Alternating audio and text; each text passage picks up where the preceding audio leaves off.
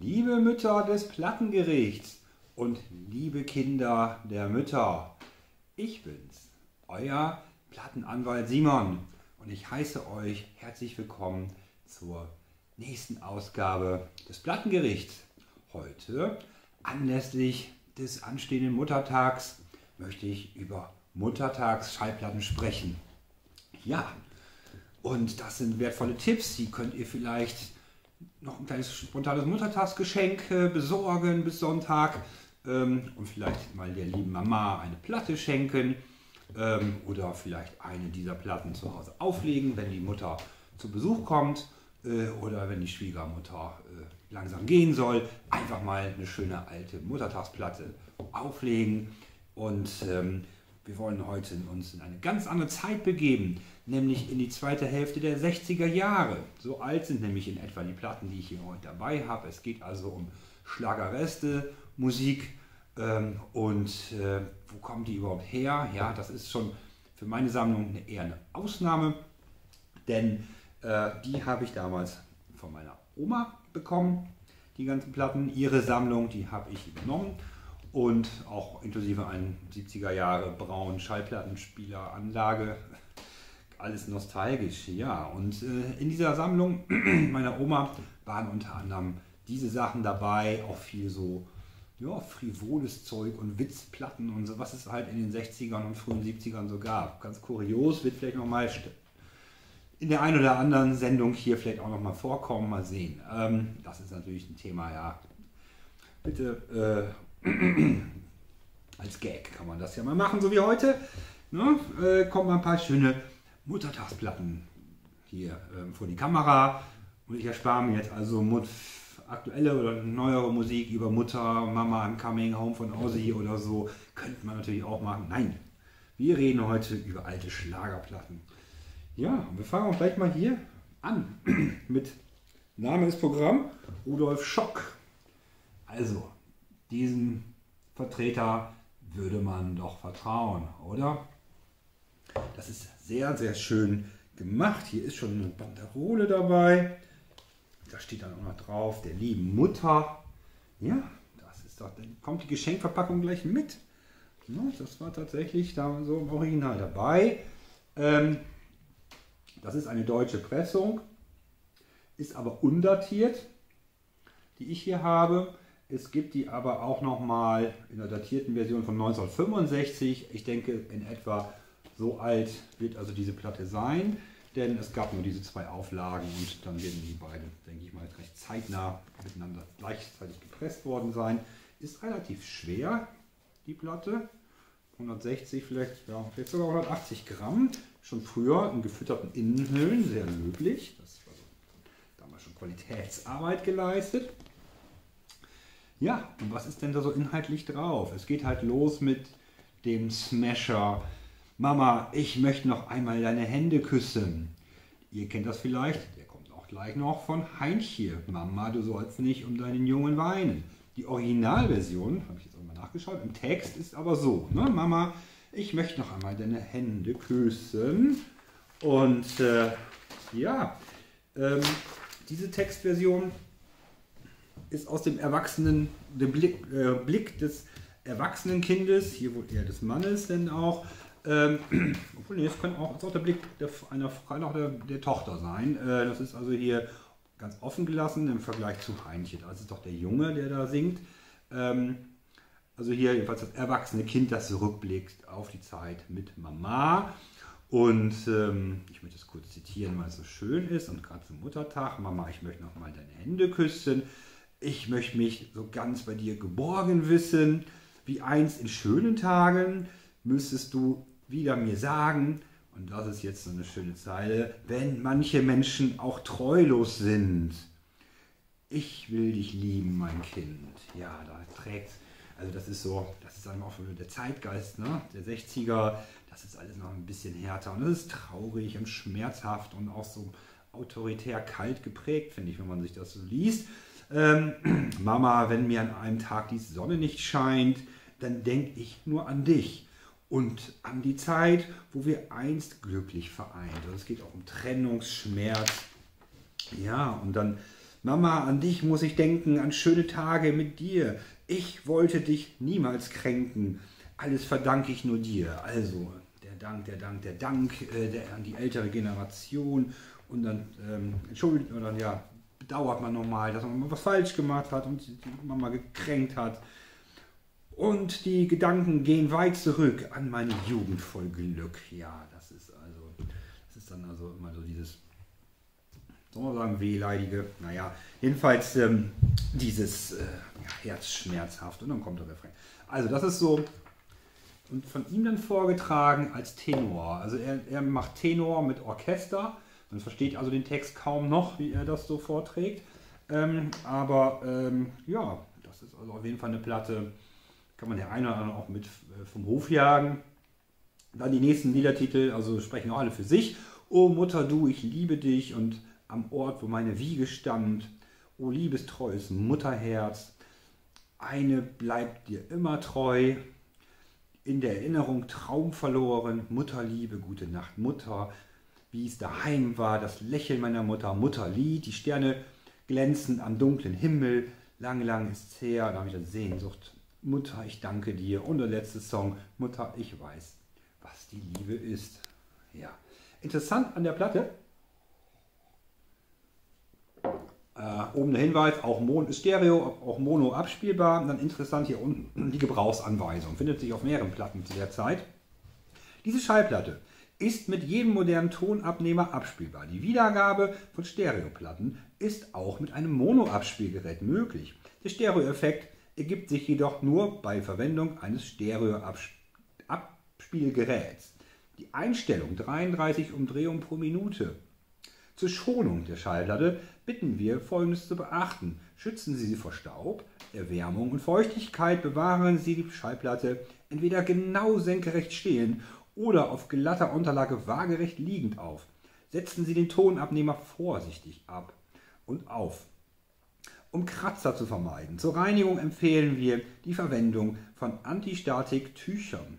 Spielen Sie sie nicht mit beschädigten oder abgenutzten Abtast, Saphir oder Diamanten ab. Abgabebedingungen, ja gut, das kommt ein bisschen was zum Urheberrecht. Das ist dann, glaube ich, auch interessant. Aber gut, ne, eine kurz, kurze, knappe Gebrauchsanweisung auf der Platte, wie man sie zu behandelt hat. Trifft im Kern eigentlich alles. Finde ich das mal sehr aufmerksam gemacht. Dann sind hier noch Liner Notes zu dem Künstler Rudolf Schock. Okay, die sparen wir uns dann mal. Rudolf Schock. Geliebte Mutter. Eine schöne, schöne Ausgabe. So, jetzt kommt der Klassiker. Ist klar, darf hier nicht fehlen. Heinche. Ja. Ähm, das ist eine deutsche Pressung. Ach, gibt das irgendwo anders auch nochmal gepresst. Jahrgang 68. Ähm, auch in 180 Gramm, schätze ich. Recht schwer, wertig. Also zu der Schock ähm, vom Sound her ist das in Ordnung, kann man gut hören. Das ist toller, also ist toller Klang. Also, äh, zeitgemäßer Klang, also ist alles da, Orchester und so weiter, gilt hier für Heinz hier auch. Und ist halt auch nicht so überspielt, also sind jetzt gar nicht, also sicherlich nicht 20 Minuten pro Seite erreicht, also insofern das ist auch ganz gut. Die ist sehr wertig, sehr, ja, wackelt nichts. Ne? Äh, früher schon, das war eine beschichtete Innenhülle wenigstens, auch nicht schlecht das hat man halt früher oft gemacht, oder jedenfalls in der Sammlung meiner Oma ganz viel. Da ist es einfach so, so eingeknickt so ein bisschen, damit äh, es besser in den Karton passt. Finde ich gut, pragmatisch. Ähm, ja, hier ist halt, also das erste Lied, du sollst nicht weinen. Ich glaube, das hatte der Schock ja auch, oder vielleicht gleich der nächste Künstler, weiß ich jetzt gar nicht. Ähm, und gut, hier ist jetzt also als nächstes Mama drauf. Achso, mal von der Rückseite vielleicht ganz kurz. Äh, hier ist halt Mama drauf. Ähm, das ja, ist ja sein, sein äh, Gassenhauer Schlager. Ähm, ähm, und so. Also geht ja dann halt, Mama, du sollst dich um deinen Jungen weinen. Das heißt, das ist jetzt eine Perspektive des Jungen. Mädchen sind hier schon mal ausgeschlossen. Und dann, ähm, ja, ist das so aus der Perspektive, also auch der, der Trennung. Also ich glaube, der Junge, der gerade aus dem Haus gegangen ist, ähm, singt hier dieses Lied. Ne? Äh, Tage der Jugend vergehen, schnell wird der Jüngling ein Mann, Träume der Jugend vergehen, dann fängt das Leben erst an. Ist das jetzt eine Drohung oder ist das eine frohe, frohe, äh, Botschaft, dass dann das Leben erst anfängt? Ist das jetzt, jawohl, die Freiheit oder, oh ja, jetzt habe ich alles Sorgen selber an, an der Hacken. Oder ich weiß nicht, wie das gemeint ist. Äh, oben weiter ist noch eine Zeile, ja. Und bringt das Leben mir auch Kummer und Schmerz, dann denke ich nur an dich.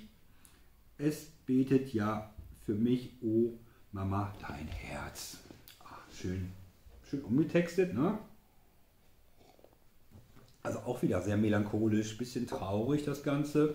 Ja, und ansonsten sind hier halt auch noch ganz tolle Muttertagsklassiker drauf. Ne? Das geht also weiter mit Wenn ich eins groß bin, mit Mamachi, das ist auch, das findet sich auf jeder zweiten Mama-Platte. Ne? Äh, wenn kleine Kinder schlafen gehen, weißt du, wie viele Sterne entstehen? Was soll das eigentlich? Das ist doch kein Mama-Lied. Ne? Okay, stimmt, ist auch eigentlich gar keine wirkliche Muttertagsplatte. Das ist ja ein allgemeiner äh, Heinche-Sampler. Schwabenlied, ich baue dir ein Schloss. Achso, dann Oma so lieb, ja. Oma so lieb, kennt ihr das Lied? Ich kannte das als allererstes von äh, dieser äh, Kabarettgruppe Geschwister Pfister. Ich weiß nicht, ob ihr die kennt. 90er Jahre, glaube ich, insbesondere waren die aktiv. Da hatte ich mal so eine CD von. Ganz lustig, wenn ihr die mal irgendwo seht, mal reinhören. Da haben die halt dieses äh, Oma so lieb mal gecovert. Wusste ich vorher gar nicht, dass das von Heinche ist. Jetzt erst durch diese Platte. Ne? Zwei kleine Sterne, wenn du noch eine Mutter hast und guter Mond. Du gehst zur Stille. Ja, und dann hinten äh, eben wieder die Gebrauchsanweisung, ganz identisch wie bei dem Herrn Schock. Ah, dann kommt noch ein ganz großer jetzt hier. Herr Peter Alexander, der darf natürlich hier nicht fehlen. Ähm, die ist undatiert, ich weiß nicht von wann die ist, die wird aber, denke ich, auch ähm, zweite, zweite äh, Hälfte der 60er sein, denke ich mal, würde so jemand in die Sammlung meiner Oma so passen vom zeitlichen her. Ähm, für dich, Mutter heißt die. Ich weiß nicht, ob dieses Cover so freundlich willkommen aussieht. Gerade der Junge erinnert mich so ein bisschen an Shining irgendwie. Und auch die Tochter, die sieht so aus, als hätte sie irgendwas äh, Schreckliches gerade sehen. Ich weiß auch nicht, was es ist. Naja, da ist dann also die Rückseite schon ein bisschen ähm, freundlicher, die beiden Kinder zusammen mit dem Papa, dem Peter. Peter Alexander, ja. Hm. So. Hier das Vinyl auch wirklich wertig in wahrscheinlich 180. Das normale Ariola-Label. Gefütterte, gefütterte Innenhüllen damals schon. Schick. Ne? Ja, und was ist dann hier so drauf? Also ein Gruß an dich, Mutter, dann wieder Mamachi, der Klassiker. Wein nicht Mütterlein. Dann ein nächster Song nur Mütterlein. Der nächste Song Mutti. Der nächste Deine Mutter bleibt immer bei dir. Der nächste Mama. Und nun bist auch du Großmama. Dann am Ort, wo meine Wiege stand, hatten wir vorhin schon mal. Wein nicht, Mutter. Es gibt eine Frau, die dich niemals vergisst. Und gute Nacht, Mutter. Ja, das ist also, das, das ist sicherlich, äh, kommt gut an am Muttertag. Und die mal auflegt, der Peter Alexander. Und zum Schluss, ja, so ein Sampler. Ne? Das ist also, wenn man einfach von allem so ein bisschen was haben möchte, an meine Mutter. Da ist sogar schon hier auch das Geschenkband aufgedruckt, ganz praktisch, dann geht das nicht verloren oder kaputt. Und ähm, die finde ich bei Discogs gar nicht. Und ich weiß auch nicht, von wann die ist. Das ist nämlich auch hier nirgends drauf. Vielleicht könnte man es anhand des Polydor-Labels ein bisschen genauer eingrenzen. Äh, aber wie gesagt, ich schätze so zweite 60er Jahre Hälfte. Das ist halt jetzt mal ein Sampler. Da haben wir auf der Rückseite einige Interpreten, Interpreten abgebildet. Aber das ist, das ist schon schön. Könnte auch fast als Weihnachtsplatte so, na, naja gut. Also da ist halt Junge kommen bald wieder drauf von Freddy Quinn. Das ist schön, also finde ich ja, ich habe gestern noch mal reingehört, habe sowieso alle noch mal kurz reingehört, nicht alle durch, aber mal reingehört und äh, das ist doch ganz, ganz schön. Ne? Er geht also davon aus, dass er jetzt zur See fährt und so. Und hat so ein bisschen diesen frühen äh, Johnny Cash-Touch, das Ganze, finde ich. Auch von der Aufnahme und der ganzen musikalisch, musikal, Musik, also von der Musik. Instrumentalisierung, das habe ich gesucht. Ne? Ja, und dann, jetzt kommen hier wieder die Klassiker, also Mama nochmal, und zwar in dieser Textversion von dem Herrn, ach, ich habe den Namen schon wieder vergessen, Schock, äh, in der, aber dann von, einer, von einer Frau, nämlich Margon Eskens gesungen. Äh, dann kommt Es gibt eine Frau, die dich niemals vergisst, von Willi Schneider, Ave Maria. Äh, Mama Mia, du vergisst mich nicht. Ein Mutterherz, könnte auch von Rammstein kommen vielleicht, irgendwie so vom Namen her. Ne? Deine Mutter bleibt immer bei dir. Fang nur dein Herz von Roy Black. Ja, der darf natürlich auch nicht fehlen hier. Mama dann nochmal. Äh, Mütterlein, La Mama, man gibt sich ähm, also international.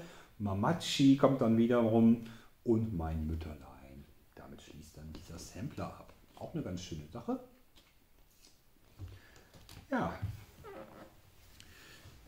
Liebe Mütter und liebe Söhne und Töchter einer Mutter, äh, ich hoffe, euch hat diese Ausgabe zum feierlichen Muttertag gefallen. Und ich hoffe, ihr habt einen schönen Sonntag und dass wir uns bald wiedersehen. Vielen Dank fürs Reinschalten. Euer Plattenanwalt Simon.